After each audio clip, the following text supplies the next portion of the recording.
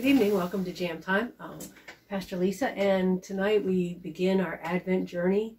And each week there's Advent, and there's four candles, and we light the candle of hope, and then peace, and then joy and love. So I'll be meeting with you tonight, and then um, in two weeks we'll go over the week before Christmas. We'll kind of finish with our last two candles.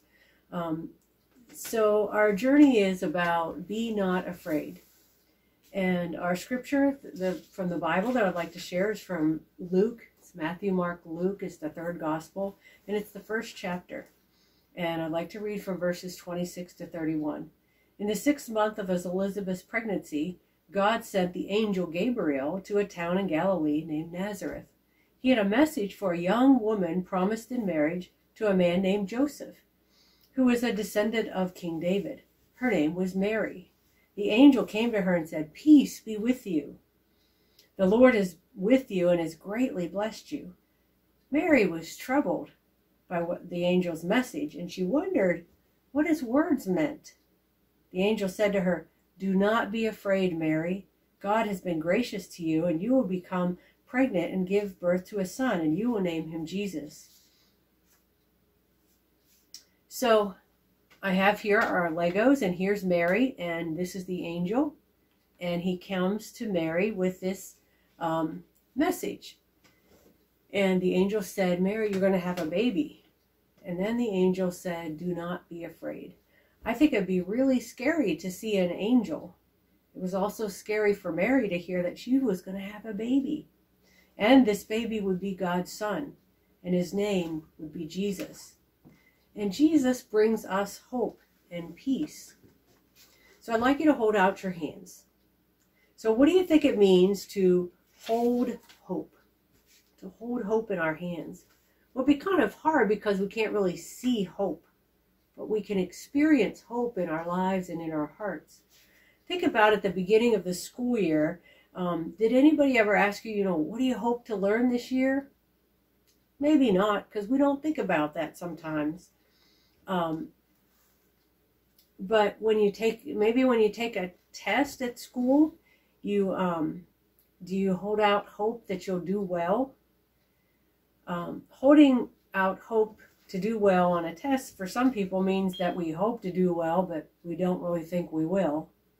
But I've also um, read that to, that hopeful people don't just wish things to happen. Hope means that we take actions in trying to um, in working towards um, towards our hopes. That means so if we hope that we'll do well with, on a test, that we've studied and we've prepared, so we're pretty sure that we're going to do well. We're hopeful. We have a good attitude and we, we think we've prepared and are ready for that test. And that's kind of what Advent's about, is getting ready our heart for the birth of Jesus. Mary had hopes for her wedding. And then the angel told her she was going to have a baby. And so Mary was filled with new hopes about giving birth to God's Son.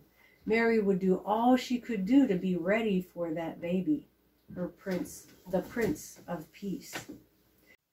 So tonight it's not really a science experiment, but it's some science about moon, and I'm using cookies because perhaps at Christmas time your mom or dad or somebody makes you some Christmas cookies, or at least you have Christmas cookies somewhere to eat. And um, so I use some Oreos and used red, although you might not be able to see as well, but red for Christmas or red Christmas cookies. So as we look at the the moon and you think about um, we think about the kings following the stars, but certainly out there in the sky, aside from the star of Bethlehem that led people to to the manger, was also the moon. And so we start with the first quarter moon, and so you see it's a half a moon, and it's on this side. And then we get to the, the waning gibbous, gibbous, and it's this over here. Um, or um, it's, it's, you see it's a big kind of, but this little section's out, you can see. And then we have the full moon, which you can see the whole thing. And then the waning gibbous.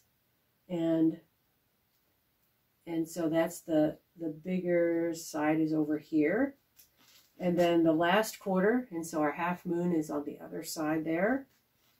And then over here we have our waning crescent. So you see that just that little sliver what you see up in the sky sometimes.